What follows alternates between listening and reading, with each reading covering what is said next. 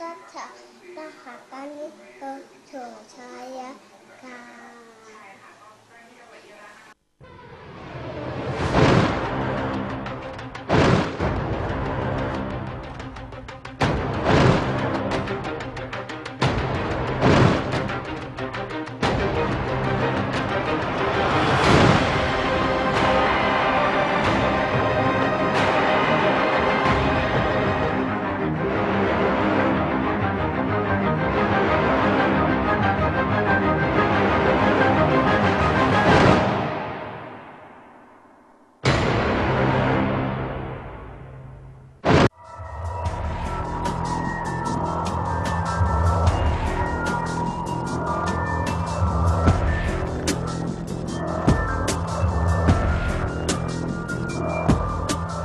อเชิญสั่งจองบูชาวัตถุมงคล เครื่องรางหายาก เครื่องรางของขลังที่ถูกกับดวงชะตา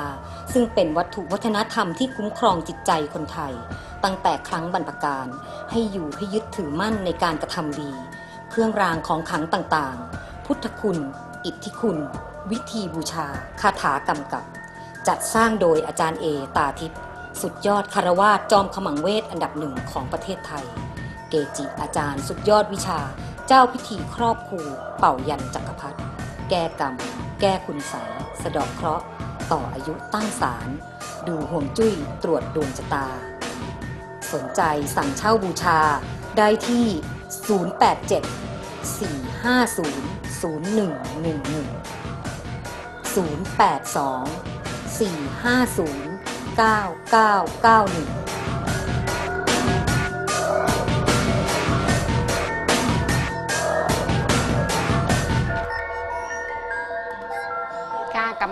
ช่วงสุดท้ายของกลับมาพบกันกับช่วงสุดท้ายของรายการอาจารย์เอตาทิมนะคะค่ะพูดเร็วไปหน่อยเนื้อลิ้นพันกันเลยค่ะ ค่ะอ้อขอแจ้งช่องทางการรับชมก่อนนะคะ ช่องทางการรับชมของช่อง 8 นะคะท่านสามารถเข้าไปร่วมพูดคุยกันในแฟนเพจ Facebook นะคะของ CH8 ได้นะคะ ส่วนท่านที่จะชมรายการย้อนหลังก็เข้าไปที่ CH8 ไทยทีวีค่ะ หรือท่านผู้ชมที่จะโทรเข้ามาสอบถามช่องทางการรับชมนะคะ ท่านที่อยู่ที่ต่างประเทศนะคะโทรเข้ามาที่เบอร์นะคะ18003155145นะคะส่วนท่านที่อยู่ที่ประเทศไทยเนี่ยโทรเข้ามาที่เบอร์ 0018008525390 ค่ะ และท่านที่จะโทรเข้ามาร่วมพูดคุยในรายการนะคะที่เบอร์ 029423319 นะคะ SMS ที่เบอร์ 4642828 ค่ะ ส่วนท่านที่อยู่ที่ต่างประเทศนะคะโทรเข้ามาจะสอบถามเกี่ยวกับ ปัญหาเรื่องราวต่างๆนะคะโทรเข้ามาโทรเข้ามาฟรีนะคะที่เบอร์ 1800694514ค่ะ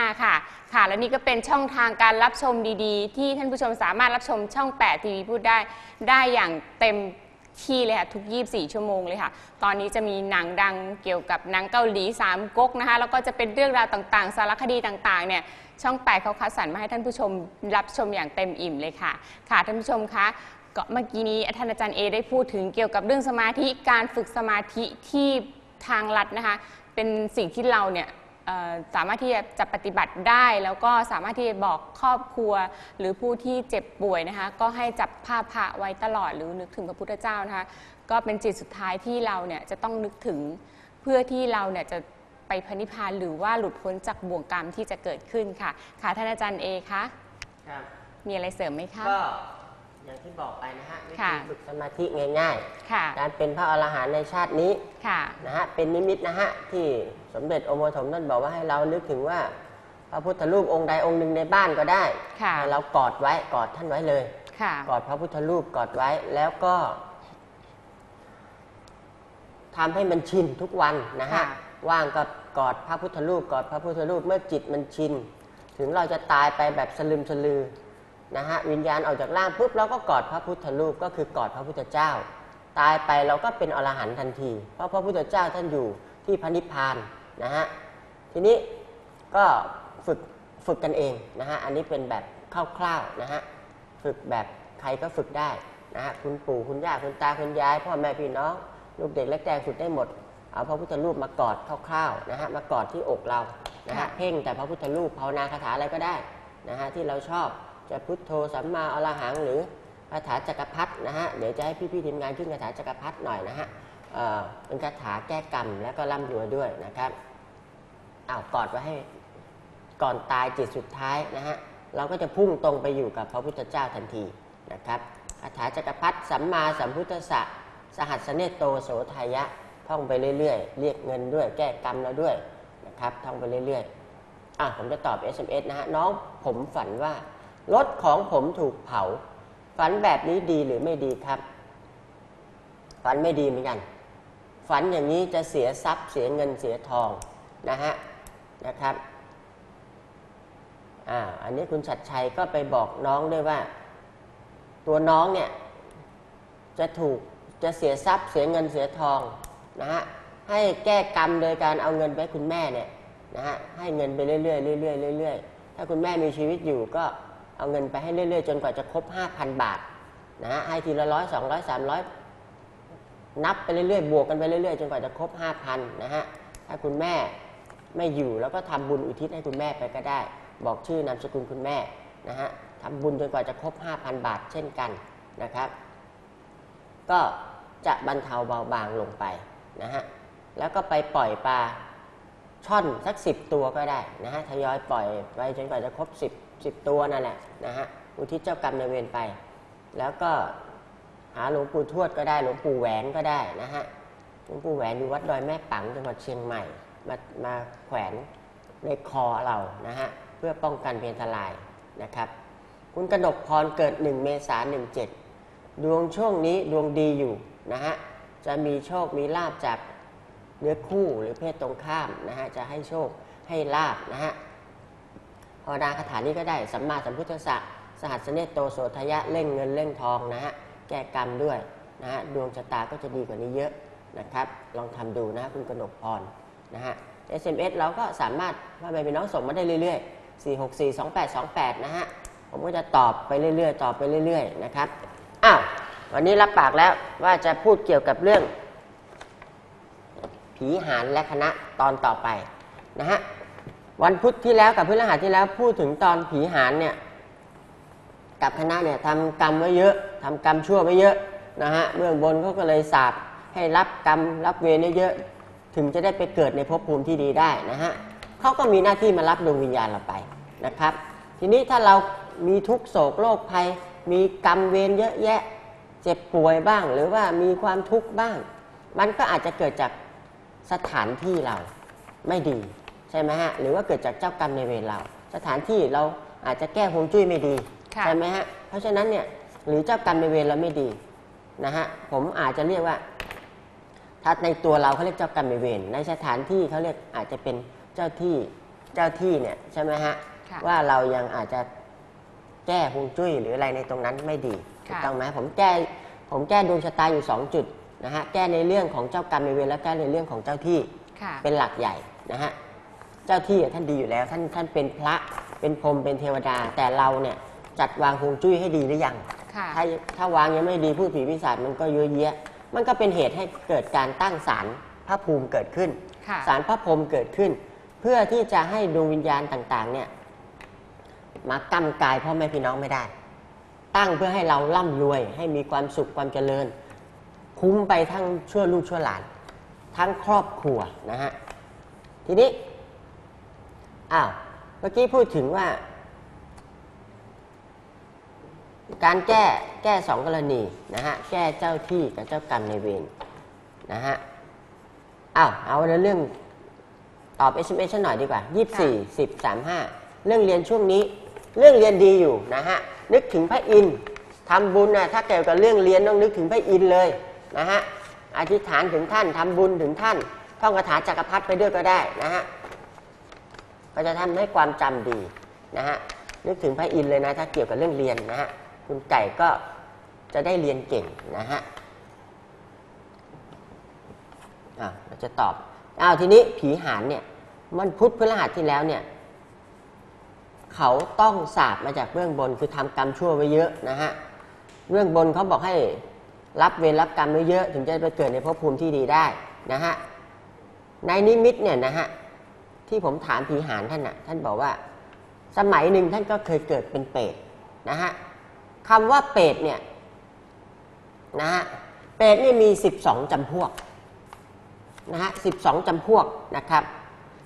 นะครับ12จำพวกเนี่ย11จำพวกแรกเนี่ยเขาเรียกว่าไม่มีโอกาสได้ รทำบุญให้ไม่มีโอกาสรับบุญกุศลเลยค่ะไม่มีโอกาสโมทนาบุญเลยนะครับ แต่พอขึ้นมาเป็นจำพวกสุดท้ายเบาบางหน่อยค่ะโมทนาบุญได้ถึงจะมีความสุข ใครทำบุญให้พอโมทนาก็จะมีความสุขนะครับ ก็จะสบายตัวขึ้นค่ะนะฮะเขาเรียกว่าเปรตเปรตสุดท้ายเนี่ยที่กรรมเบาบางเนี่ยเขาเรียกว่าปรทัตตูปะชีวีเปรตนะฮะค่ะอันนี้ เอามาจากหนังสือหลวงพ่อฤาษีดำๆนะไปหาอ่านกันได้เขาเรียกว่าเอ่อหนังสือเกี่ยวกับไตรภูมิค่ะไตรภูมิของหลวงพ่อฤาษีลิงดำไปหาซื้อได้ที่วัดท่าซุงนะฮะที่จังหวัดอุทัยธานีนะฮะเล่มวัดใหญ่ๆของหลวงพ่อค่ะฤาษีลิงดเล่มใหญ่ำเล่มเหลืองๆเล็ก ๆ นะฮะไตรภูเหมือนขนาด A4 นะฮะอ๋อไตรภูมิของหลวงพ่อฤาษีลิงดำเนี่ยค่ะนะฮะก็จะมีเกี่ยวกับชัด ชั้นนู้นชั้นนี้พูดผีปีศาจเปรตอสุรกายพรหมเทวดามีกี่ชั้นมีกี่อะไรไปศึกษาได้ เป็นความรู้นะฮะหรือซื้อที่ซอยสายลมก็ได้บ้านบ้านบ้านสายลมนะฮะพหลโยธิน 8 สาขาหนึ่งของหลวงพ่อฤาษีลิงดำค่ะนะครับ ก็ถ้าเบอร์บ้านสายลมก็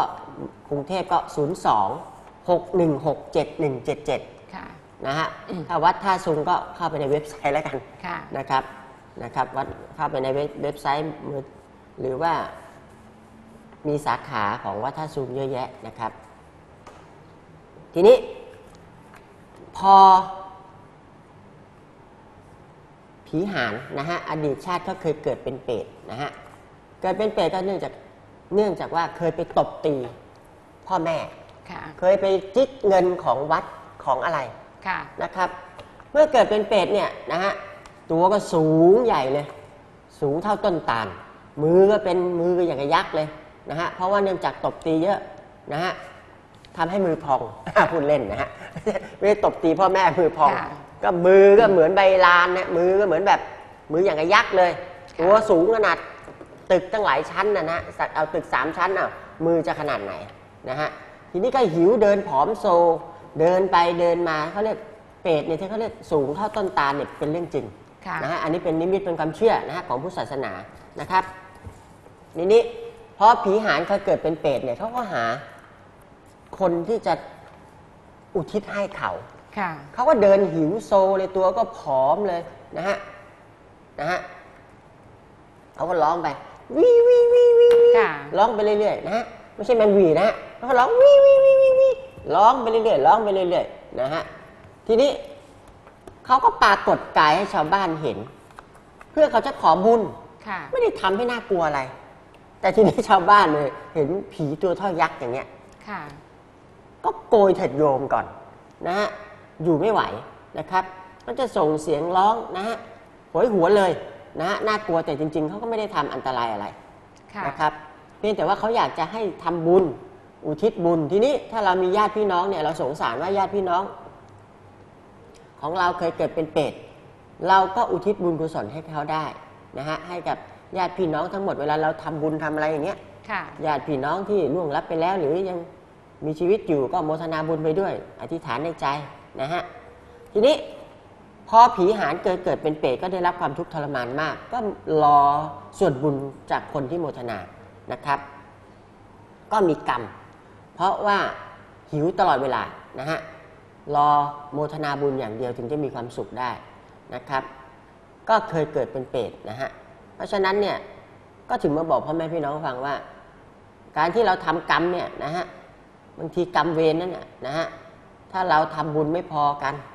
หรือว่าส่งเจ้ากรรมในเวรไปเกิดไม่ไม่ไม่พอกัน บางทีเราก็อาจพลาดพังล่วงลงนรกได้ หรืออาจจะได้ทุกข์ทรมานแบบผีหานนะฮะเพราะฉะนั้นเนี่ยผมถึงบอกพ่อแม่พี่น้องถ้ามีเรามีกรรมมีเวรอะไรเยอะๆเนี่ย เราก็ส่งดวงวิญญาณเจ้ากรรมในเวรเราไปเลย วิธีง่าย ๆ ส่งดวงวิญญาณเจ้ากรรมในเวรทั้งหมดเนี่ยไปให้ผีหานและคณะ ถ้าท่านเจ็บป่วยลองดู ส่งดวงวิญญาณเจ้าขออธิษฐาน ส่งดวงวิญญาณเจ้ากรรมในเวรทั้งหมดให้ไปอยู่กับผีหานและคณะเลยเขาก็จะได้รับเจ้ากรรมในเวรเยอะๆเขาจะได้ไปเกิดได้ เบื้องบนเขาถึงจะปล่อยตัวให้ผีหานไปเกิดได้กับคณะ อันนี้ก็ลองทำดูนะฮะวิธีง่าย ๆ หรือว่าบ้านเราห่วงจุ้ยผูผีปีศาจเยอะแยะ เราก็อธิษฐานนะสิว่าขอส่งดวงวิญญาณพูดผีปีศาจในบ้านไปให้ผีหาและคณะนะครับ ก็บ้านเราก็จะโล่งถูกต้องไหมฮะดวงวิญญาณก็ออกไปหมดแล้ว อันนี้เป็นเคล็ดลับเล็กๆ น้อยๆนะฮะเพราะฉะนั้นเนี่ยการเป็นเปรตเนี่ย ถ้าเป็นเปรตแบบนี่เปรตแบบเบาแล้วนะปรทัตตูปะชีวีเปรตเนี่ยที่หลวงพ่อฤาษีลิงดำบอกผีหานเขาเคยเกิดเป็นเปรตด้วย เคยเกิดมาเป็นเปรตทุกชั้นเลยนะฮะชั้นที่หนึ่งชั้นที่สองเลื่อนลงมา ขึ้นไปเรื่อยๆ จนถึงชั้น 11 ชั้น 12 เบาหน่อยใช่ไหมปราทัตตูปะชีวีเปรตผีหานเคยเกิด เพราะฉะนั้นเนี่ยก็มีความทุกข์ทรมาน ก็เป็นนิมิตที่เอามาเล่าให้พ่อแม่พี่น้องฟังว่าผีหานเนี่ยนะฮะเขาทำกรรมไว้เยอะนะฮะเพราะฉะนั้นเนี่ยเราก็พยายามทำดีนะฮะอย่าพยายามทำชั่ว เจ้ากรรมในเวรในอดีตเราก็ลืมไปตั้งหน้านึกว่าเราทำบุญทำกุศลต่อไปนะฮะนะครับ ชีวิตเราก็จะมีแต่ความสุขความเจริญนะครับ อ้าวดูหมอต่อ 30 สิงหา 23 การงานจะมีการเปลี่ยนแปลงไหม จะดีขึ้นหรือแย่ลงนะ บอกตรงๆว่าจะแย่ลงนะคุณนรินนะฮะ ตามนิมิตเนี่ยท่านบอกว่าจะแย่ลง เพราะว่าเรามีกรรมเก่าเนี่ย มันติดตามมา นะฮะ เจ้ากรรมในเวรจะติดตามมา นะฮะเขาก็จะเกาะตรงหัวตรงหลังเราเนี่ยทำให้เราปวดหัวด้วยปวดหลังด้วยนะคุณนรินนะฮะ เรามีวิธีแก้กรรมง่ายๆ สังฆทานบ่อย ๆ เลย นะฮะอย่างที่บอกไปเมื่อกี้เนี่ยอุทิศเจ้ากรรมในเวรทั้งหมดเนี่ยไปให้ผีหาและคณะเลยเขามีหน้าที่มารับดวงวิญญาณอยู่แล้วนะฮะแล้วสังฆทานเพิ่มเติมไปบ่อยๆพอเราไปสังฆทานเนี่ยเราอุทิศเจ้ากรรมในเวรเราเลย สังฆทานสักสามถังนะฮะปล่อยปลาไหลสักห้าตัวนะฮะแล้วก็หาพระพุทธชินราชองค์เล็กๆเนี่ยมาแขวนคอไว้นะครับแค่นี้ดวงจะเปลี่ยนทันทีเลย ดวงจะดีขึ้นเลยนะฮะคุณนริน อ้าวจดไว้นะฮะผมจำไม่ได้แล้วผมสื่อครั้งเดียวผมก็จำไม่ได้ ลองทำดูหนึ่งหาพระพุทธชินราชองค์เล็ก ๆ มาแขวนคอติดตัวไว้นะฮะสองสังฆทานบ่อยๆนะฮะสักสามถังก็ได้นะฮะอุทิศเจ้ากรรมในเวรไปนะฮะแล้วก็ปล่อยปลาไหลสักห้าตัวนะฮะซื้อในตลาดนะการปล่อยปลาเนี่ยไปซื้อในตลาดมาปล่อยนะครับ ให้เขาชีวิตรอดไปนะฮะแค่นี้ก็ดวงดวงคุณนรินก็จะดีขึ้นเยอะนะครับ ค่ะ ก่อนหน้านี้มีคุณไก่อะค่ะอ้อพอดีอ้อจดไม่ทันนะคะ เกิดวันที่ 24 เดือน 10 35รบกวนพี่ๆทีมงานช่วยเลื่อนกลับมานิดนึงนะคะไก่ตอบไปแล้วไม่ใช่เหรออ้าวเหรอหนูเอ๊ะตอบปแล้วใช่ไหมคะ น่าจะตอบไปแล้วนะ ต้องต้องขอโทษด้วยค่ะที่ที่แบบจดไม่ทัน เอ๊ะไม่แน่ใจแต่ไม่เป็นไรนะคะไม่เป็นไรถ้าอย่างเดี๋ยวเดี๋ยวก็ค่อยดูอีกทีนะคะเดี๋ยว SMS ค่ะเราก็จะพยายามตอบทุกข้อเลยนะฮะค่ะตั้งแต่ครั้งแรกแล้วนะฮะค่ะที่ที่ ขอบขอบคุณพ่อแม่พี่น้องทั้งหลายที่ทนฟังทนฟังเพลงนะฮะผมขอขอบคุณพี่พี่พี่พี่ๆน้องๆทุกท่านนะฮะค่ะเราก็อยากให้ใครสมองกันไม่ได้ค่ะ คิดอะไรหรอกฮะอยากให้ใครเครียดนะครับ ค่ะ เดี๋ยวเราจะมีภาพอะค่ะเกี่ยวกับ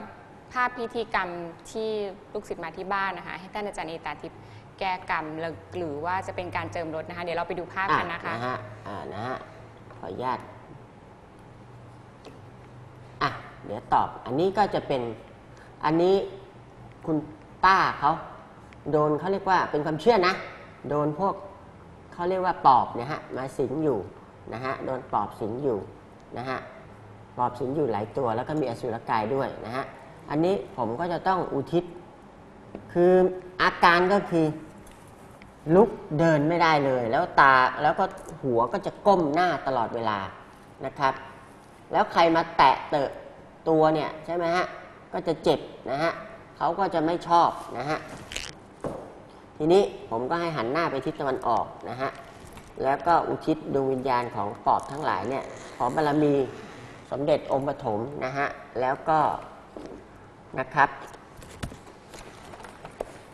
แล้วก็คณะเบื้องบนท่านอุทิศให้นะฮะให้ไปเกิดในภพภูมิที่ดีก่อน แล้วก็จะสักยันที่หัวเขาเรียกลงกระหม่อมนะฮะ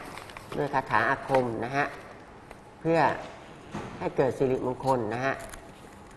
แล้วตอนนี้ก็ขยับเท้าขยับอะไรได้แล้วกำลังจะฝึกยืดตัวแล้วนะฮะยืดตัวแล้วแล้วหน้าก็จะใสขึ้น ไม่ไม่เอาหัวลงเหมือนเดิม ก็หน้าก็จะแหง่งขึ้นได้แล้วพูดคุยรู้เรื่องแล้วนะฮะแล้วผมก็สอบถามว่าตอนก่อนเนี่ยเท้าเธอเนี่ยถ้าออกกำลังกายแตะขึ้นแตะนิดเดียวเขาจะเจ็บเลย ตอนนี้ไม่เจ็บแล้ว โล่งเบาสบายนะฮะก็อันนี้เป็นการแก้กรรมที่เป็นภาพมาให้เห็นนะครับอะนะฮะอันนี้ก็คร่าวๆนะฮะพอกลับไปก็ไปฝึกยืดตัวเอาเองนะครับนะนั่นนะฮะอันนี้ผมนั่งเพื่อให้ยืดตัวนะฮะให้กำลังใจคุณป้าเขานะฮะนะครับคุณป้าก็ฝึกยืดตัวยืดตัวนะครับ แล้วก็ดูแลเหมือนพ่อแม่พี่น้องเราทุกท่านนะฮะ เพราะคนไทยไม่ว่าหรือคนชาติไหนเราก็ใช้หลักเมตตานะฮะอยู่ร่วมกันแบบพี่ๆน้องๆ อันนี้พี่ที่มาด้วยนะฮะพี่ต้อยนะฮะก็เจิมรถให้ ผมก็เจิมรถซื้อแท็กซี่ใหม่มาเลยนะฮะผมก็เจิมรถให้หมดเลยนะฮะทำพิธีเจิมให้นะครับ เพื่อเป็นสิริมงคลนะฮะเพื่อเป็นสิริมงคล อันนี้ก็เป็นภาพคร่าวๆ ทะเบียนรถเนี่ยข้างล่างเนะฮะ ควรจะใช้เลขหนึ่งข้างหลังเนี่ยอย่างเงี้ยใช้ได้นะฮะ เลขหนึ่งอยู่ข้างหลังใช้ได้นะฮะ ควรจะเลี่ยงเลขสามหน่อยนะฮะ เลขสามนี่ถ้าเติมสระอีหรือก็คือเลขหนึ่งหรือเลขเจ็ดเข้าไปนะฮะ มันก็ภาษาไทยก็อ่านว่าผีใช่ไหมฮะ ถ้าในรถเนี่ยเราก็เลี่ยงเลขสามหน่อย ทะเบียนรถได้ทุกชนิดเลย ข้างหลังควรจะเป็นเลขหนึ่ง ด้านหน้าเป็นเลขอะไรก็ได้ควรจะเลี่ยงเลขสามอันนี้ก็เป็นภาพเจิมรถเจิมรถไปเรื่อยๆนะครับแล้วก็ต้องเจิมให้ละเอียดหน่อยนะฮะจนกว่าสิ่งศักดิ์สิทธิ์ที่เราอาราธนาท่านมาคุ้มครองหมดแล้วนะฮะสมเด็จองค์ปฐมมาปลุกเสกหมดแล้วนะฮะเราก็เลิกเจิมได้นะฮะ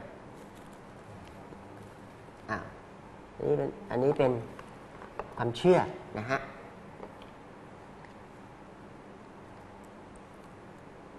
เป็นภาพเรื่อยๆนะฮะภาพเจิมรถไปเรื่อยๆนะครับเป็นพิธีกรรมคร่าวๆนะครับอ่าระหว่างนี้อ่าที่ลงยันเนี่ยก็จะเป็นอันนี้จะเป็นเกี่ยวกับสีพึ่ง จะลงหลายยันคือยันมหาเศรษฐีด้วย ยันปลดหนี้ด้วย ยันณหน้าทองด้วยนะฮะ นะฮะจะได้เรียกเงินทองเข้ามาเยอะๆนะครับ แล้วก็จะเอาน้ำมนต์กุมพันเนี่ยนะฮะพรมนะฮะปะพรมดูนะครับ อันนี้ก็มีพ่อแม่พี่น้องหลากหลายนะฮะที่ให้มาเจิมรถเรื่อยๆเราก็ทำให้นะฮะผมก็รัตนาพระพุทธเจ้าครูบาอาจารย์ทุกองค์ทำให้นะฮะเป็นบารมีของท่าน ผมไม่ได้มีบารมีบารมงบารมีอะไรนะฮะ ก็คนธรรมดานะฮะเหมือนพ่อแม่พี่น้องนั่นแหละฮะนะฮะเราก็ ผมเห็นทุกคนมีความสุขก็ เราก็มีความสุขด้วยนะฮะอ้าว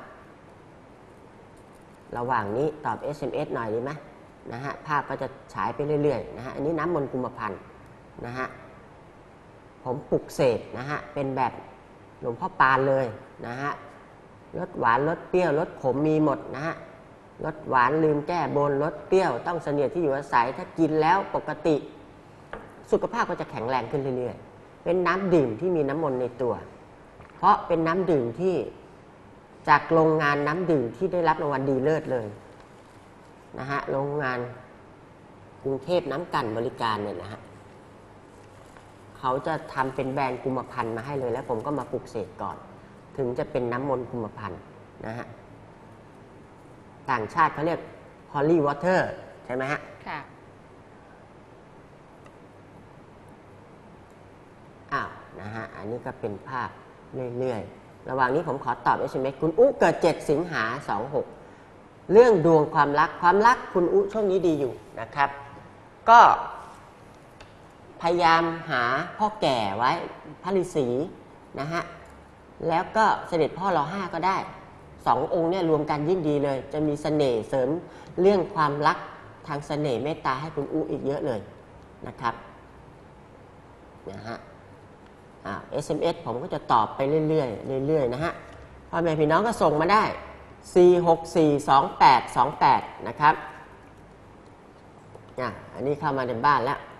ก็จะลงเขาเรียกลงกระหม่อมนะฮะก็จะสักเป็น ยันมหาเศรษฐีบ้าง ยันปลดหนี้บ้าง ยันณหน้าทองบ้าง ยันมหาละรวยบ้าง12ยันน่ะที่ผมได้นิมิตน่ะก็แล้วแต่เบื้องบนเขาท่านจะสักอะไรผมก็สักให้นะครับนะฮะอันนี้ก็ทำให้พี่ๆเขาทุกท่านเป็นสิริมงคลนะครับ เสร็จแล้วก็พรมน้ำมนต์นะฮะพรมน้ำมนต์นะฮะบาทน้ำมนต์ก็ได้รับการปลุกเสกจากอาจารย์ผมก็คือ สมเด็จพระพุทธจันทร์เกี่ยววัสเกตนะฮะตอนนั้นท่านรักษาการเป็นพระสังฆราชแล้วท่านก็มรณภาพไปแล้วนะฮะผมก็ได้มีโอกาสไปกราบท่านที่คณะห้าอยู่เป็นประจำประจำท่านบอกว่าเอาไปท่านเอาน้ำมนต์รู้สึกน้ำมนต์200 ปีในห้องน่ะใส่ให้ด้วยนะฮะแล้วท่านก็บอกเอาไปประพรมคนนะนะท่านก็สั่งไว้นะครับ ผมก็ทำตามคำสั่งท่านมาจนถึงทุกวันนี้นะฮะ เอาน้ำมนต์นะฮะเอาไปประพรมอันนี้เป็นความเชื่อของลูกศิษย์ลูกหาผม เขาเชื่อว่าให้ผมเหยียบท้องแล้วเขาจะลดความอ้วนของเขา อันนี้น้องจิ๋วนะน้องพิธีกรนะฮะนี่เหยียบครั้งที่สองแล้วนี่เหยียบครั้งที่สองแล้วเหยียบครั้งแรกผอมไปแล้วนะนะฮะเขาก็มาเหยียบครั้งที่สองเขาเชื่อของเขาอย่างนั้นนะฮะผมก็ไม่ขัดศรัทธาเนื่อเชื่อยังไงก็ทำอย่างนั้น ทีนี้ก็เป็นเหตุให้คนมาเหยียบกันใหญ่เลยนะฮะมาเหยียบลดความอ้วนกันใหญ่เลยนะฮะเป็นความเชื่อของเขานะฮะแต่จริงๆอะผมขอบารมีพระพุทธเจ้าพรหมเทวดานะฮะให้ให้มาปกปักรักษาคุ้มครองนะฮะเหมือนกับมาสถิตในกายของพ่อแม่พี่น้องของแต่ละคนนะฮะก็สิ่งศักดิ์สิทธิ์เขาก็สามารถเหมือนกับ นะฮะสร้างปาฏิหารย์ได้ อันนี้เป็นความเชื่อ อันนี้น้องเจี๊ยบพี่สาวของน้องจิ๋วนะฮะอันนี้ก็ทำให้หุ่นเขาดีขึ้นค่ะนะฮะเขาเชื่อของเขาอย่างนั้นนะฮะแล้วก็เขาบอกทำให้เขาบอกว่าเขากินเยอะนะคะ แต่ว่ามันไม่อ้วนนะคะรู้สึกว่ามันกระชับขึ้นนะคะอ่านะฮะนะอันนี้เป็นความเชื่อ ผมอารัธนา ก็เหมือนบารมี ก็เหมือนบารมีสมเด็จองค์ปฐมอะเท้าของท่านนั่นแหละค่ะนะเป็นความเชื่อเท้าของท่านท่านก็ไปเหยียบให้ บารมีของท่านนะฮะนะฮะการเหยียบแบบนี้จริง ๆ เกจิอาจารย์โบราณท่านก็เหยียบมาแต่เก่าก่อนนะฮะเหมือนหลวงพ่อคูณท่านก็มีพยันรอยเท้านะฮะหรือว่าหลวงพ่อเดิมวัดหนองโพก็มีพยันรอยเท้านะครับนะครับ อันนี้ก็เป็นนิมิตส่วนตัวว่าที่ท่านให้ ทำพิธีแบบนี้นะฮะเป็นความเชื่อนะครับอ้าวนะครับ ก็วันนี้จะพูดถึงผลิตภัณฑ์ค่ะต่างๆนะฮะที่ 17 ชนิดเนี่ยนะฮะก็จดออยหมดแล้วค่ะนะฮะอยากให้อาจารย์อ้อแนะนำว่ามีอะไรบ้างนะครับ เป็นของปลุกเสกค่ะนะฮะของปลุกเสก ที่ผมปลุกเสกด้วยตัวเองเป็นสมุนไพรล้วนทั้งหมดเลยนะครับ ค่ะแล้วก็จดออยหมดแล้ว ค่ะ ถูกต้องตามกฎหมายนะฮะค่ะ อะอาจารย์อ้อก็ช่วยแนะนำเป็นแล้วผกัลินตภัณฑ์ทั้งหมดก่อนหน้านี้จะมีทั้งหมด 13 ชนิดนะคะที่เราไปจดออยแล้วก็จะมี 11 ชนิดค่ะที่เราไปจดออยแล้วเราก็ทำเองส่วนน้ำกับขมิ้นชันนี่เราจะ ต้องให้เขาทำนะคะ อันนี้ก็จะเป็นตัวตัวใหม่นะคะเนเบิร์ครีมนะคะ เป็นการช่วยปรับสภาพผิวบริเวณหัวนมให้มีความชุ่มชื้นนะคะ นุ่มนวลนะคะ ตัวนี้จะเป็นสมุนไพรกุมอาหาร13 ชนิดก่อนหน้านี้นะคะ ที่เรามีการไปจดอย. มาเรียบร้อยแล้ว ก็จะมีแชมพูครีมนวด สบู่เหลวโลชั่นยาสีฟันตัวนี้จะเป็นตัวใหม่นะคะ ที่จะช่วยเรื่องฝ้าจุดด่างดำนะคะ เป็นตัว face mask นะคะ เป็น ตัวที่ไว้ใช้พอกแล้วก็ใช้บำรุงผิวนะคะ จะช่วยลดจุดด่างดำไม่ว่าจะเป็นเรื่องสิวฝ้า ก็จะช่วยได้ได้ได้ดีนะคะ ตัวนี้ก็จะเป็น firming skin oil ค่ะ ส่วนมากเนี่ยที่ลูกศิษย์เอาไปใช้ก็จะช่วยเรื่องอรอยแตกที่ที่ตรงบริเวณตรงขาค่ะตัวแตกแล้วก็ทำให้ที่เขาไปนวดต้นแขนก็จะจะกระชับขึ้นนะคะ อันนี้เป็นความเชื่อที่ลูกศิษย์เขา เขาได้บอกมานะคะเป็นตัว Framing Skin Oil ค่ะ ก็ยังช่วยเรื่องเป็นการเพิ่มพลังผิวให้ดู ดูรู้สึกว่ามีแบบมีน้ำมีนวลแล้วก็ไม่ไม่ไม่เหี่ยวอะค่ะ มีท่านผู้ใหญ่บางคนเอาไปใช้ตอนเอาไปทาตอนก่อนนอนนะคะ เพราะว่าเรานอนในห้องแอร์ค่ะ ตื่นมาปกติถ้าถ้าไม่ได้ทาเนี่ยเขาก็จะแบบผิวแห้ง แต่ว่าพอทานี้ไปรู้สึกว่าผิวเขาจะก็จะชุ่มชื่นขึ้นนะคะ แล้วอีกอย่างหนึ่งตัวนี้นะคะก็ท่านอาจารย์เอตาทิพย์ท่านได้ปลุกเสกนะคะ แล้วก็จะมีอยู่ 2 ขนาดด้วยกันก็คือ 100 มิลกับ5 25 มิลค่ะ ตัวนี้ก็ได้รับออยเรียบร้อยแล้วค่ะอ้อจะบอกไว้นะว่าตัวนี้นะคะสามารถทาได้ทุกส่วนของร่างกายนะเพื่อความกระชับนะคะ หลายท่านลองเอาไปทาแล้วก็มีความรู้สึกว่า มันกระชับดีนะคะค่ะเป็นความเชื่อนะคะค่ะ ลองเอาไปใช้ดูนะคะ ท่านสามารถเข้าไปดูในข้อมูลที่ Facebook นะคะเท้ากุมภพันธ์อาจารย์เอตาทิพย์ก็ได้นะคะค่ะ ส่วนตัวต่อไปนะคะก็จะเป็นตัวตัวอาร์มพิกคิม เป็นตัวที่จะช่วยบำรุงผิวใต้วงแขนนะคะเป็นผลิตภัณฑ์ที่ท่านอาจารย์เอตาทิพย์เนี่ยได้บอกเล่าแล้วก็ให้อ้อนเนี่ยทำขึ้นมาเกี่ยวกับ การที่จะช่วยให้ผิวใต้วงแขนเนี่ยมีมีมีเหมือนกับเรียบเนียนนะคะแล้วก็การเกิดใหม่ของผิวเนี่ยก็จะน้อยลงแล้วก็ทำให้ผิวบริเวณนั้นน่ะไม่เป็นหนังไก่อะค่ะส่วนมากเขาก็จะเรียกว่าไม่เป็นหนังไก่อะค่ะก็คือใช้ก่อนนอนนะทาไว้ก่อนนอนนะคะแล้วมันก็จะจะช่วยเรื่องการทำให้ผิวใต้วงแขนในกระจ่างขึ้นนะคะค่ะ ตัวต่อไปนะคะ ตัวนี้จะเป็น armpit cream นะคะ ตัวต่อไปก็เป็น nipple นะคะ ขอภาพ nipple อีกที nipple ก็จะทาบริเวณรอบหัวนมนะคะ จะทำให้ผิวบริเวณนั้นนะคะ นุ่มนวลไม่แตกไม่แตกแห้งนะคะ ค่ะ ตัวนี้ก็เช่นกันนะคะ ก็จะทาบริเวณหัวนมก่อนนอน ทาทิ้งไว้เลยก็ได้ไม่ต้องล้างนะคะก็จะช่วยเรื่องปรับสภาพผิวบริเวณหัวนมนะคะ ให้มีความมีความชุ่มชื่นแล้วก็เหมือนกับมีการขจัดเซลล์ที่ที่มัน ไม่ไม่ไม่เข้มแข็งไม่แข็งแรงเงี้ยออกไปอะค่ะประมาณเนี้ยค่ะค่ะ ก็ลองลองเอาไปลองดูข้อมูลได้ในเว็บไซต์เท้ากุมภพันธ์อาจารย์เอตาทิพย์หรือว่า Facebook เท้ากุมภพันธ์อาจารย์เอตาทิพย์แล้วก็อีก Facebook หนึ่งก็คือดำขันตาทิพย์ค่ะ ส่วนผลิตภัณฑ์อีก 13 ผลิตภัณฑ์ก็จะมีแชมพูครีมนวด แล้วก็จะเป็นตัวสบู่ค่ะ สบู่เสบู่ขมิ้นชันค่ะก็จะมียาสีฟัน แล้วก็น้ำมันงาสีพึ่งทุกอย่างเป็นผลิตภัณฑ์ที่เราท่านอาจารย์เอตาทิพย์เนี่ยมีการนิมิตขึ้นมาแล้วก็มีการบอกว่าส่วนผสมของแต่ละตัวนี่จะเป็นอะไรเพื่อที่ให้ท่านผู้ชมเนี่ยใช้ได้อย่างมีประสิทธิภาพนะคะ เป็นผลิตภัณฑ์ที่ท่านอาจารย์เอตาทิพย์เนี่ยเหมือนกับได้ได้มาบอกเล่าให้ให้ให้ เราทำขึ้นมาเพื่อลูกศิษย์อะค่ะค่ะเป็นผลิตภัณฑ์อย่างหนึ่งที่หลายท่านเอาไปใช้แล้วมีประสบการณ์หลาย ๆ เรื่องเลยค่ะ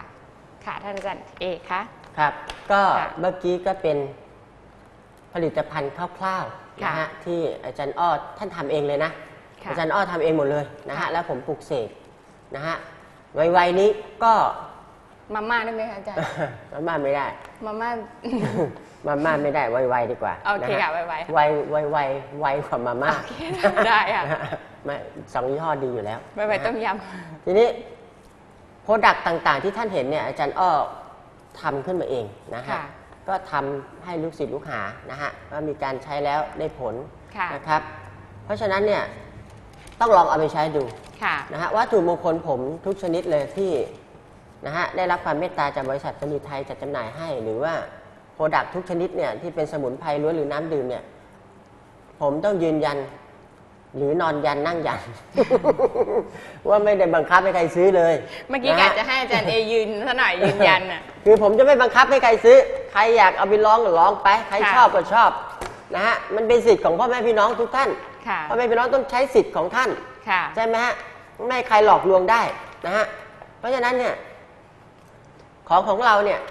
ส่วนใหญ่มันจะเป็นปากต่อปากไปค่ะนะฮะแนะนำไปอันไหนดีก็ แล้วบางทีเนี่ยน้ำมนต์น้ำน้ำดื่มเนี่ยในบ้านผมหมดเนี่ยผมก็ห่วงไม่ได้ขายด้วยนะ คือจะเก็บไว้กินเองนะฮะหรือว่าลูกศิษย์ลูกหาเนี่ยเพราะบางทีเราต้องสั่งสั่งทีนะฮะสั่งทีนะฮะโรงงานเขาก็มาส่งพี่พ่อแม่พี่น้องก็เอาไป10โหล20โหลแล้วก็จะหมดแล้วค่ะนะฮะไม่มีให้พ่อแม่พี่น้องที่มาบ้านดื่มเพราะเราให้ดื่มฟรีด้วยนะฮะค่ะ อ้าวสรุปแล้วชัดเจนนะฮะสำหรับผมก็คือวัตถุมงคลหรือสมุนไพรต่างๆ ไม่ได้บังคับให้ใครซื้อนะค่ะ ฮะใครอยากซื้อก็ซื้อไปใครอยากเป็นตัวแทนจำหน่ายก็จำหน่ายไป ค่ะ วัยๆนี้จะผลิตเป็นมาตรฐานโรงงานเลย ค่ะ ผู้หลักผู้ใหญ่ท่านก็มาดูแล้วนะฮะ ค่ะว่าท่านจะไปทำเป็น GMP ค่ะมาตรฐาน GMP เลยแล้วก็จะส่งทั้งในประเทศและต่างประเทศนะฮะ ก็วัยๆนี้อยู่ในขั้นตอนของอา กระบวนการผลิตนะฮะค่ะ นะฮะ GMP นะฮะจะเข้านะฮะผลิต เพราะผู้ใหญ่เขาเขามีโรงงานเลยที่ค่ะได้รับมาตรฐาน GMP นะฮะค่ะ แล้วก็เป้าหมายเราก็จะขายทั้งแถบภายในประเทศ และแถบเอเชียด้วยกันและค่ะอาจจะเผยแพร่ไปต่างประเทศด้วยนะฮะเช่นอเมริกาอย่างเงี้ยนะฮะ ค่ะ นะครับ ก็เดี๋ยวรอดูในอนาคต ต่อไปนะครับ อันนี้ก็บอกคร่าวๆนะครับ ทีนี้คุณนุชจะขายของกินจะดีไหมแล้วจะเสริมดวงไงขายของกินดีครับคุณนุชขายพวกอาหารน้ำแข็งใสเครื่องดงเครื่องดื่ม ได้หมดเลย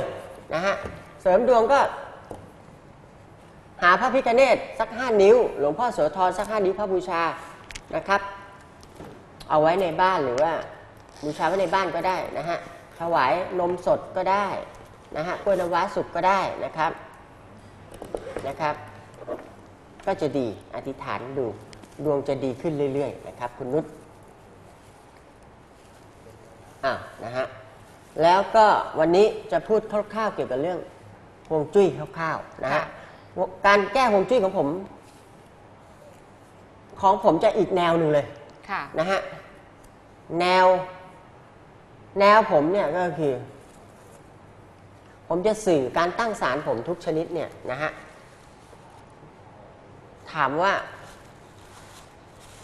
ผมตั้งศาลยังไง วางคงจุ้ยยังไงนะฮะนะครับ อันดับแรกผมก็ต้องสื่อกับเจ้าที่ก่อนค่ะมันก็ว่าโดยวิชามโนมยิทธินั่นแหละของหลวงพ่อฤาษีลิงดำวิชาทางในเนี่ยแหละนะฮะนะฮะ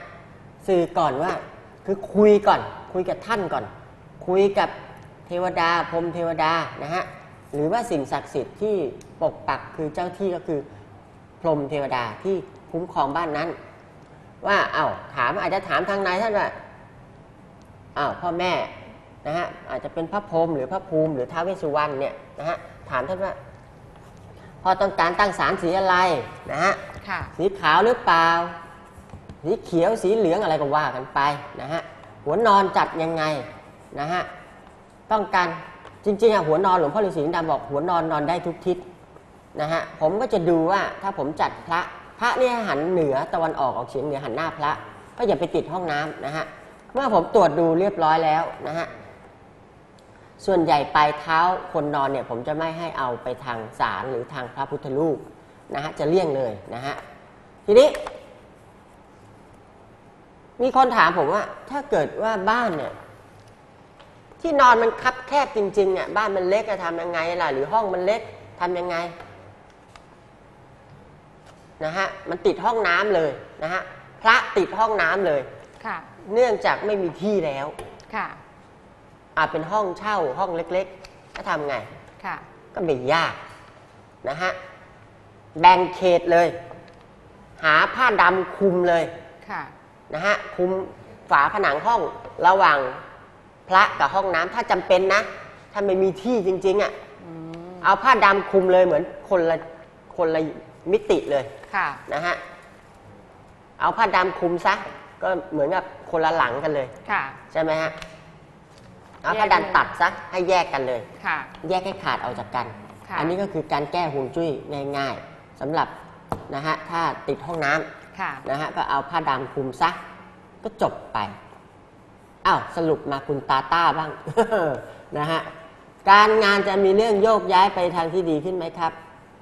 บูชาพระสยามเทวาธิราชเลย อธิษฐานเลย เรื่องตำแหน่งหน้าที่การงานนะฮะค่ะ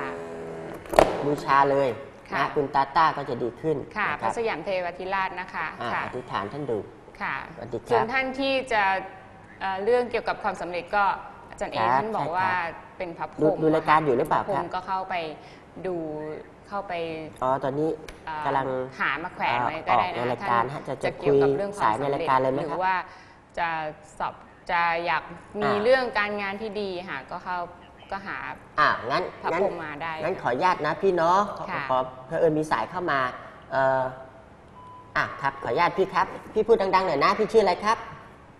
ครับชื่อสิทธาครับผมชื่อชื่ออะไรนะฮะสิทธาครับพี่สิทธาใช่ไหมฮะ ใช่ครับ พี่พี่อยู่จังหวัดอะไรครับ ขอนแก่นครับ อยู่ขอนแก่นนะฮะ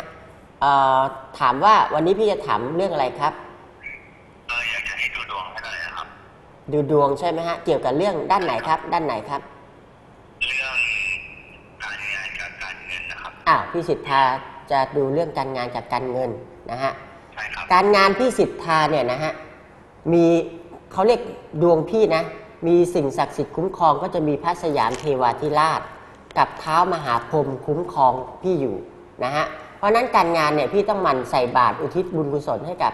พระสยามเทวาธิราช แล้วก็เท้ามหาพรหมนะฮะการงานพี่สิทธาจะดีขึ้นไปเรื่อยๆเรื่อยๆนะครับ ส่วนการเงินเนี่ยเขาเรียกว่ารอจังหวะอยู่ รอเงินหมุนเข้ามาอยู่ ซึ่งพอปลายเดือนเนี้ยนะฮะพ้นไปแล้วนะฮะ พอขึ้นวันที่หนึ่งวันที่สองเดือนหน้าเนี่ยดวงจะดีขึ้นแล้วเรื่องการเงินนะฮะพี่สิทธา อันนี้ก็เป็นเป็นชะดวงชะตาคร่าวๆนะฮะนะครับอืมแล้วเอ๊ะพอดีพอดีว่า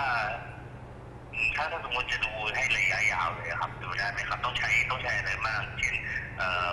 มันจะไปเกิดอะไรอย่างเงี้ยครับอ๋ออยากจะดูคร่าวๆใช่ไหมฮะอันนี้เมื่อเมื่อกี้ผมดูให้คร่าวๆ เอาอย่างนี้นะฮะ แล้วถ้าเกิดมีโอกาสเนี่ยฮะมาบ้านผมก็ได้เอาพ่อแม่พี่น้องที่มีโอกาสมาบ้านผมเนี่ยนะฮะบ้านผมอยู่ตรงข้ามบิ๊กซีแจ้งวัฒนะนะฮะอยู่ตรงแถวหลักสี่นะฮะไว้มีโอกาสเจอกันก็ได้นะฮะหรือว่าถ้าโทรมาอย่างเงี้ยผมปรึกษาให้ฟรีเลยนะฮะไม่เสียค่าครูนะฮะไว้พี่สิทธามีโอกาสก็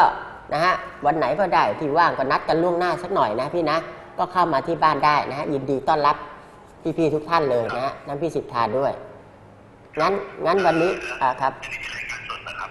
รายการสดเลยออกไปทั่วโลกเลยนะฮะเป็นรายการช่องพี่ต่อเลยฮะช่อง8นะฮะช่องแปดใช่ไหมคครับรับครับอืมพอดีพอดีว่าอย่างนี้ครับพอดีว่าเมื่อคืนนี้ผมฝันนะครับอ้าวฝันว่า ฝันว่าฝันว่าเอ่อเขาบอกว่าให้ผมมาดูดวงกับคนชื่อเอครับ หึ อืมครับ ฝันว่าให้ดูดวงกับคนชื่อเอใช่ครับไปดูดวงกับคนชื่อเป็นเป็นอาจีนี่แหละ แต่ผมไม่รู้ว่าเป็นใครผมก็เลยมาใน Google ดูก็เลยก็เลยสงสัยเขาบอกว่าเอาวันเดือนที่เกิดมาเดี๋ยวจะดูดวงให้ ในความฝันใช่ไหมฮะใช่ครับ ฝันแล้วพี่บอกว่าพี่สิทธาบอกว่าฝันให้มาดูดวงกับคนชื่อเอนะฮะแล้วก็พี่ก็เสิร์ชใน Google ดูใช่ไหมฮะใช่ครับแล้วในความฝันเนี่ย เป็นฝันยังไงฮะ เป็นรูปร่างยังไง อะไรอย่างเงี้ยก็เป็นผู้ชายนี่แหละครับ เป็นคือตอนแรกมีคนคนหนึ่งเขาบอกว่าเออเป็นเป็นเหมือนกับคนที่เขาอยู่ในสำนักเลยเขาบอกไปที่ไปดูไปดูอาจารย์อาจารย์นี้อาจารย์จะต้องอย่างเงี้ยอาจารย์จะได้บอกมามามาที่มาเนี่ยเอาเอามันเป็นที่เกิดมาเดี๋ยวอาจารย์ดูให้ อืมเป็นความฝันใช่ไหมพี่ที่พี่บอกคือความฝันใช่ไหมครับ แต่พี่ก็ไม่รู้ว่าคนชื่อ A คือใครก็เลยเสิร์ชใน Google ดูใช่ไหมฮะใช่ครับก็เจอผมพอดีนะฮะใช่คก็รับแสดงว่าอาจจะทำบุญมาร่วมกันไงพี่สาธิตใช่ไหมฮะครับเอ๊ะพี่สาธิตหรือเปล่าใช่ไหมฮะผมพูดไม่ผิดเนาะอ่าชื่อสิทธาครับอ๋อพี่สิทธาโอ้โหผมก็เบอร์กับมอสไปพี่ขอโทษทีนะพี่นะก็ก็ยินดีนะพี่นะที่ทำความรู้จักกับพี่นะฮะก็มีโอกาสก็มาหาได้นะพี่เนาะครับ นะครับ วันนี้พี่มีอะไรจะถามอีกไหมฮะ ถาม ไม่มีแล้วครับ ไม่มีแล้วนะ ขอให้ร่ำรวยนะพี่พี่พี่สาธิตนะฮะ ใช่ไหมไม่ใช่ค่ะ พี่สิทธาใช่ไหมฮะอ่า ก็ให้ร่ำรวยนะพี่สิทธานะ มีอะไรก็โทรมาปรึกษาได้เรื่อยๆนะพี่สิทธานะครับให้โชคดีนะพี่เนาะครับ สวัสดีครับครับครับ ก็เป็นเบอร์พี่สิทธาทีนี้ ก็ผมขอประทานโทษด้วยบางทีพูดผิดพูดถูกค่ะไปเรื่อยๆนะฮะผมก็จะสื่อทางเสียงเป็นหลักนะฮะค่ะ แล้วก็จะถามครูบาอาจารย์เป็นหลักนะครับ ก็ยินดีให้บริการพี่สิทธานะฮะทีนี้เมื่อกี้คุณตาต้าได้ตอบไปยังเนี่ย ยังค่ะยังไม่ได้ตอบค่ะ คุณตาต้าการงาน การงานเนี่ยช่วงนี้ดวงโยกย้ายดีนะ ดวงเนี่ยมันจะมันจะเกิดขึ้นบางทีเจ็ดวันมันก็เปลี่ยน บางทีเดือนหนึ่งสองเดือนสามเดือนมันก็เปลี่ยนค่ะเอาแน่เอานอนไม่ได้นะฮะแต่ถ้าถามว่าช่วงนี้โยกย้ายดีไหม ดีเลยนะฮะเร่งทำเลยนะฮะเร่งดำเนินการนะฮะอาจารย์ผมเนี่ยหลวงปู่พลวัดเซิงหวายเนี่ยท่านให้คติธรรมมาข้อหนึ่งท่านบอกดีบุกนะค่ะเหมือนว่าดีบุกอะ่ะเป็นแร่ธาตุชนิดหนึ่งดีบุก ไม่ดีอย่าบุก ไม่ใช่ค่ะอาจารย์ เขาใช้หลวงพ่อท่านใช้คำว่าดีบุก ไม่ใช่ดีบุกเป็นแร่ธาตุค่ะอาจารย์ก็ใช่เป็นคำ ก็หมายถึงว่าไอ้คำว่าดีบุกเนี่ยมันก็คือแร่ธาตุชนิดหนึ่งค่ะ ท่านบอกดีก็บุกไปเลย ค่ะ ถ้าไม่ดีก็ไม่ต้องบุก ค่ะอันนี้ดีอยู่แล้วก็บุกไปเลย ก็ลุยไปเลยค่ะความหมายเป็นอย่างนั้นนะฮะทีนี้ ถ้าดวงไม่ดีจะไปบุกกันใหม่ใช่ไหมอาจารย์อ้อใช่ค่ะก็เสร็จเขาสิใช่ไหมฮะ อืมอ้าวดวงดีนะฮะผมผมบอกว่าโยกเรื่องโยกย้ายดี ค่ะ เกณฑ์ดวงโยกย้ายดีช่วงนี้ทำได้เลยนะครับ ค่ะอาจารย์คะเมื่อกี้อาจารย์คุยสายกับใครอะคะชื่ออะไรนะคะ พี่สิทธาใช่ไหมฮะชื่อสิทธาพี่สิทธาจำได้แล้วนึกว่าจำไม่ได้อีก อืมอาจารย์ชอบจำชื่อผิดนะคะค่ะ อายุอีก วันที่ 8 ตุลานี้ผมจะ 45 ขวบแล้ว ขวบปีค่ะอาจารย์ไม่ใช่ขวบค่ะขวบใช้กับเด็กค่ะอาจารย์ 45 ขวบใช่ไหมค่ะ ฮะ ก็จะหลงหลงลืมลืมอย่างนี้แหละ ค่ะ เบอร์กับมดประจำนะฮะ ช่วงนี้ช่วงอาทิตย์นี้มีอะไรเสริมไหมคะอาจารย์คะ อ้าวพ่อแม่พี่น้องอยากจะเสริมดวงให้ร่ำให้รวยนะฮะ รู้จักปลาท่องโกไหมรู้จักค่ะ อ่า ไปเอามาสักเก้าชิ้นนะฮะ เอาไปถวายพระเลยนะครับ ค่ะ หรือว่าถ้าไม่มีบอกใส่บาตรพระยากเหลือเกิน ถวายที่สูงสูงๆในบ้านเลยก็ได้ ถวายสิ่งศักดิ์สิทธิ์น่ะถวายเขาเรียกเจ้าที่ในบ้านเลยก็ได้ค่ะ นะฮะแล้วก็นมสดสักนมสดสัก เอาถ้าเป็นกล่องเล็ก ๆ ก็สองกล่องแล้วกันอะค่ะ กล่องแบบเรากินน่ะกล่องนมจืดนะคะนมจืดน่ะสักสองค่ะ กล่องนะแค่นี้ก็ทำให้การงานการเงินความรักท่านดีขึ้นแล้วค่ะ นะครับอธิษฐานเลยอยากได้อะไรก็ขอ เป็นการเสริมดวงชะตา อืม เจ็ดวัน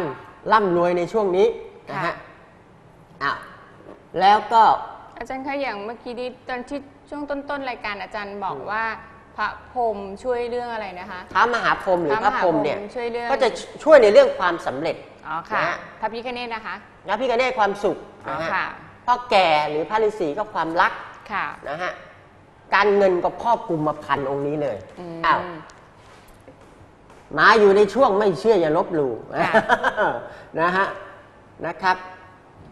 เทพเจ้าแห่งการเงินนะฮะนี่องค์แรกของโลกเลยนะฮะนะฮะอนาคตผมจะสร้างเทพองค์นี้แหละ แล้วจะให้ทำโรงทานฟรี 24 ชั่วโมงนะครับ เทพองค์นี้เป็นเทพในนิมิตเลย มาจากหนังสือหลวงพ่อฤาษีลิงดำนะฮะจากหนังสือหลวงพ่อเออตอบปัญหาธรรมฉบับพิเศษเล่ม 11ค่ะนะฮะ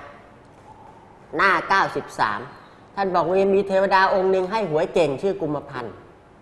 เทพองค์นี้แหละนะฮะพ่อแม่พี่น้องอธิษฐานดู เท้ากุมพันธ์กุมพันธ์นะฮะนะฮะรายละเอียดเข้าไปดูในเว็บไซต์อาจารย์เอตาทิพ .com หรือเข้า Google พิมพ์ อาจารย์เอตาทิพก็ได้นะฮะดูย้อนหลังได้นะฮะขอพรท่านเลย แล้วดูซิว่าได้เงินจริงไหม ขอหวยก็ได้ขอการเงินทั้งหมดได้เลยนะครับอ้าวอย่าลืมค่ะเจ็ดห้าเก้าอันนี้ผมจะพูดเล่น จริงๆอะผมได้ยินนกมันร้องข้างบ้าน มันร้องเจ็ดห้าเก้าเจ็ดห้าเก้าเจ็ดห้าเก้าไม่ผมได้ยินนกร้องจริงๆนะ มันร้องเจ็ดห้าเก้าเจ็ดห้าเก้าลองดูเผื่อฟุกนะฮะอันนี้มันร้องอยู่นะ มันร้องเจ็ดห้าเก้าเจ็ดห้าเก้าผมได้ยินก็มาบอกพ่อแม่พี่น้องให้ฟังค่ะนะฮะจะเอาไปทำอะไรก็เรื่องของพ่อแม่พี่น้อง ผมได้ยินเพียงเลขเฉยๆนะฮะแล้วแต่พี่น้อเสีงยงนกมาให้ฟังค่ะ นี่เสียงนกเสียงกา มันร้องเจ็ดห้าเก้าเจ็ดห้าเก้าเจ็ดห้าเก้าอ้าว ค่ะคุณดารินไม่ตอบแล้วว่าผมได้ยินเจ็ดห้าเก้าอ๋ออ้าวค่ะหมดเวลาแล้ว ผมค่ะ ขอพรพ่อกุมพันธ์ให้พ่อแม่พี่น้องทุกท่าน ชมช่องแปดพี่ต่อเนี่ยร่ำรวยทุกคนหมดหนี้หมดสินตลอดไป